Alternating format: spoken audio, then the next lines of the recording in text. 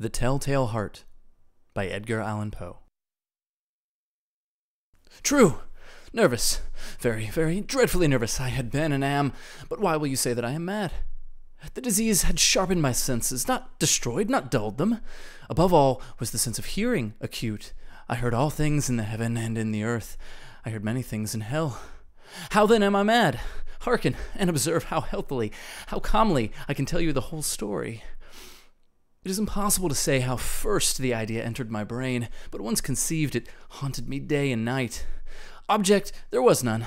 Passion, there was none. I loved the old man. He had never wronged me. He had never given me insult. For his gold I had no desire. I think it was his eye. Yes, it was this. He had the eye of a vulture, a pale blue eye with a film over it. Whenever it fell upon me, my blood ran cold, and so, by degrees, very gradually, I made up my mind to take the life of the old man and thus rid myself of the eye forever. Now, this is the point. You fancy me mad. Madmen know nothing. But you should have seen me.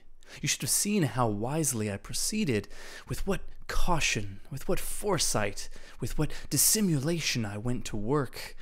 I was never kinder to the old man than during the whole week before I killed him. And every night, about midnight, I turned the latch of his door and opened it, oh, so gently. And then, when I had made an opening sufficient for my head, I put in a dark lantern, all closed, closed so that no light shone out, and then I thrust in my head. Oh, you would have laughed to see how cunningly I thrust it in. I moved it slowly, very, very slowly, so that I might not disturb the old man's sleep. It took me an hour to place my whole head within the opening, so far that I could see him as he lay upon his bed. Ha! Would a madman have been so wise as this? And then, when my head was well within the room, I undid the lantern cautiously, oh, so cautiously, cautiously, for the hinges creaked. I undid it just so much that a single thin ray fell upon the vulture eye. And this I did for seven long nights every night just at midnight. But I found the eye always closed, and so it was impossible to do the work, for it was not the old man who vexed me, but his evil eye. And every morning, when the day broke, I went boldly into his chamber and spoke courageously to him, calling him by name in a hearty tone and inquiring how he has passed the night. So you see, he would have been a very profound old man indeed to suspect that every night, just at twelve, I looked in upon him while he slept. Upon the eighth night, I was more than usually cautious in opening the door. A watch's minute hand moves more quickly than did mine. Never before that night had I felt the extent of my own powers, of my sagacity. I could scarcely contain my feelings of triumph to think that there I was, opening the door little by little, and he not even to dream of my secret deeds or thoughts. I fairly chuckled at the idea, and perhaps he heard me, for he moved on the bed suddenly, as if startled. Now, you may think that I drew back, but no. His room was as black as pitch with the thick darkness, for the shutters were closed fastened through fear of robbers. And so I knew that he could not see the opening of the door, and I kept pushing it on steadily, steadily. I had my head in, and was about to open the lantern when my thumb slipped upon the tin fastening, and the old man sprang up in bed, crying out, Who's there? I kept quite still and said nothing. For a whole hour I did not move a muscle, and in the meantime I did not hear him lie down. He was still sitting up in the bed listening, just as I have done, night after night, hearkening to the death watches in the wall. Presently I heard a slight groan, and I knew it was the groan of mortal terror.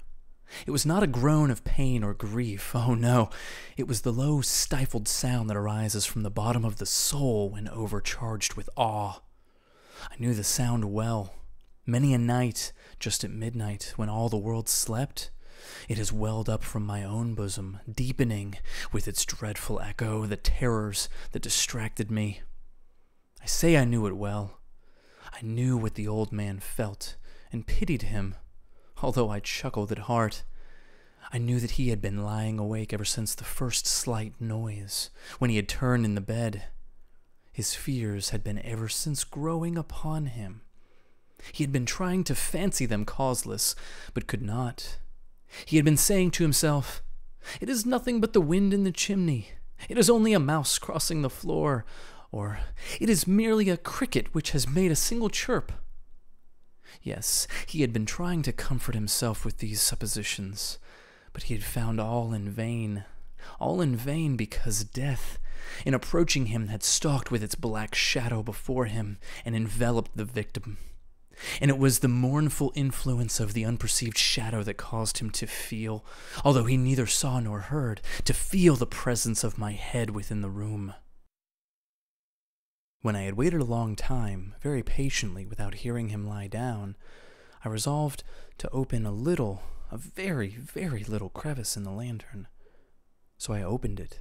You cannot imagine how stealthily, stealthily, until at length a single dim ray, like the thread of the spider, shot from the crevice and fell upon the vulture eye.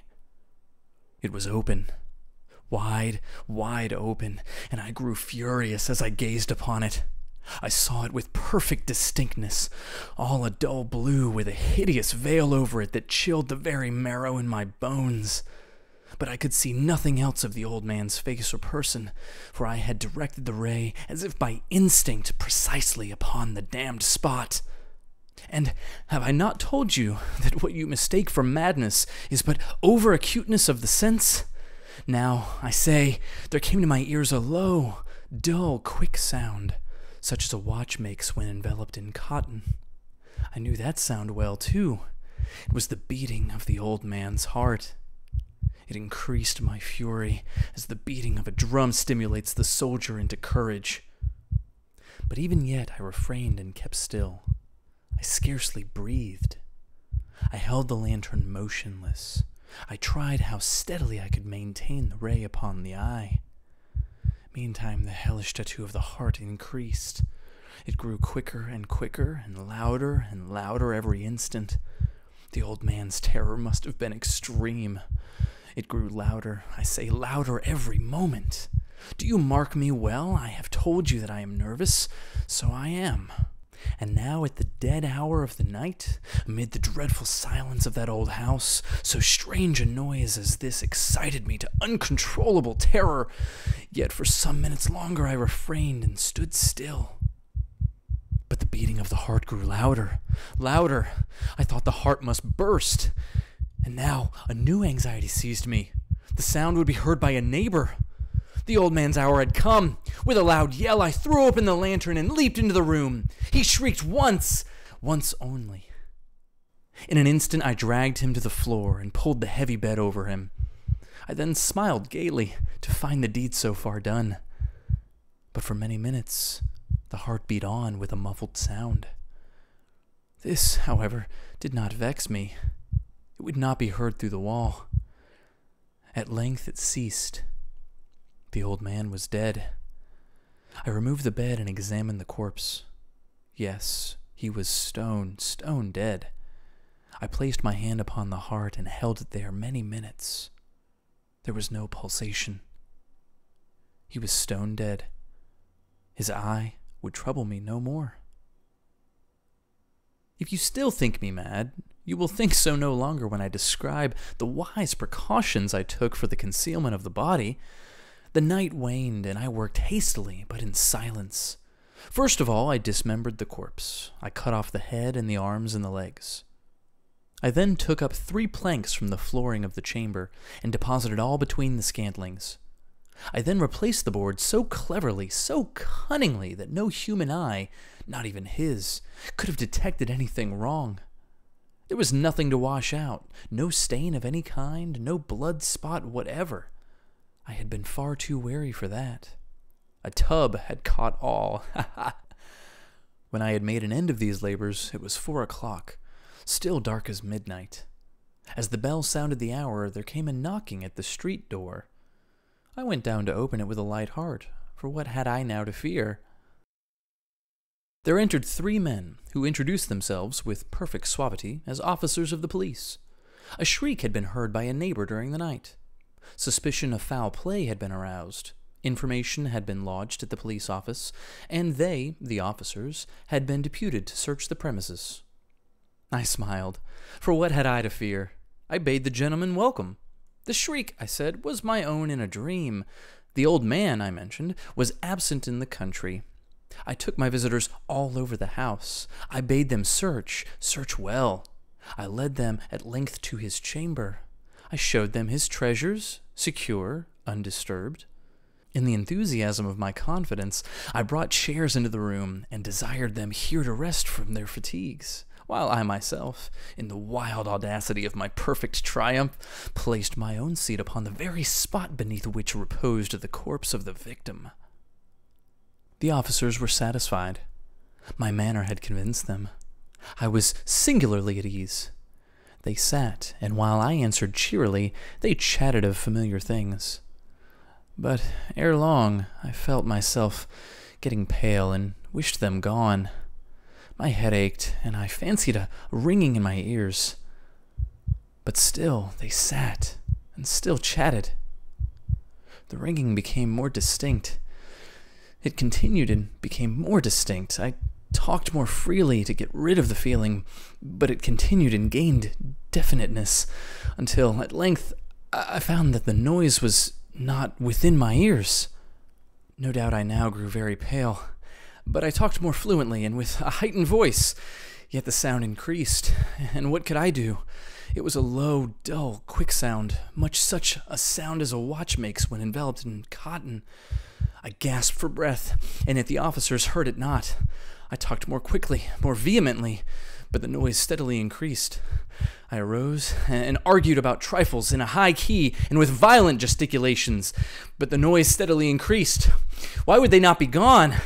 I paced the floor to and fro with heavy strides, as if excited to fury by the observations of the men, but the noise steadily increased. Oh God, what could I do? I foamed, I raved, I swore, I swung the chair upon which I had been sitting and grated it upon the boards, but the noise arose over all and continually increased. It grew louder, louder, louder, and still the men chatted pleasantly and smiled. Was it possible they heard not? Almighty God, no, no, they heard, they suspected, they knew. They were making a mockery of my horror. This I thought, and this I think. But anything was better than this agony. Anything was more tolerable than this derision. I could bear those hypocritical smiles no longer. I felt that I must scream or die. And now again, hark! Louder! Louder! Louder! Louder! Villains! I shrieked. Dissemble no more! I admit the deed! Tear up the planks! Here! Here! It is the beating of his hideous heart!